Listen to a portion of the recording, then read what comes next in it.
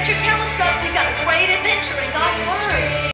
Adventure through God's Word will change our lives, change us for good. His Word is exciting, shows us truth. So come along and hear the song.